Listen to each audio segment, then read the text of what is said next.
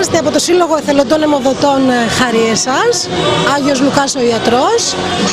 Ε, συνεργαζόμαστε με το Χάρη σε Ζωή, με το ΚΕΔΜΟΠ Χάρη σε Ζωή της Πάτρας ε, και ενημερώνουμε, γιατί τα τελευταία χρόνια έχουμε επικεντρωθεί στην ενημέρωση και στην ε, προσέγγιση, προσέλκυση ε, για νέους εθελοντές δότες μυαλού των οστών. Τα πράγματα ιατρικά έχουν αλλάξει, πρέπει να το γνωρίζει αυτός, αυτό ο κόσμος και να μην φοβάται.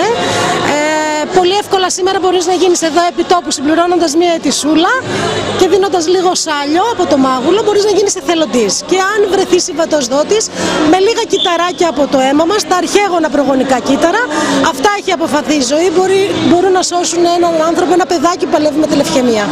Αυτό κάνουμε, σηκωθήκαμε από τον καναπέ και θελοντικά ενημερώνουμε τον κόσμο σε όποια δράση μας δίνεται σαν δυνατότητα. Ευχαριστούμε εδώ την ομάδα του Φιλίππου ε, και τον coach ε, για το βήμα που μας έδωσε σήμερα να είμαστε εδώ και να ενημερώσουμε, να έρθουμε σε επαφή με τον κόσμο, να ενημερώσουμε τον κόσμο να μην φοβάται, να γίνει εθελοντής δότης μυαλού των οστών για να μεγαλώσουμε την ελπίδα για τα παιδάκια που παλεύουν σε ένα νοσοκομείο. Από 18 και 55 μπορείς να γίνεις εθελοντής δότης μυαλού των οστών. Ε, οι τρεις απαγορευτικοί παράγοντες που δεν μπορεί να συμμετέχει κάποιος είναι αν έχει διαγνωστεί με καρκίνο, υπατήτηδα και λευχαιμία. Οποιοδήποτε άλλο προβληματάκι και αν έχουμε μπορούμε να γίνουμε εθελοντές δότες μυαλού των οστών. Και εμείς ευχαριστούμε. Εμείς από τη σειρά μας θέλουμε να ευχαριστήσουμε πάρα πολύ το Σύλλογο που ανταποκρίθηκε άμεσα στο κάλεσμα ε, το οποίο κάναμε.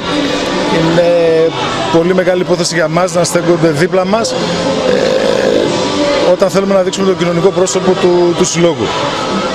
Και πάλι ευχαριστούμε πάρα πολύ το Σύλλογο που άμεσα ήρθε και μακάρι να μπορέσουμε και εμείς να βρεθεί κάποιος από όλους αυτούς να γίνει δότης ώστε να σώσουμε μια ανθρώπινη ζωή. Το σημαντικό από όλα είναι όλοι μαζί, όλοι μαζί μπορούμε να κάνουμε αγώνα και να κάνουμε τη λευχαιμία παρελθόν. Ευχαριστούμε πάρα πολύ.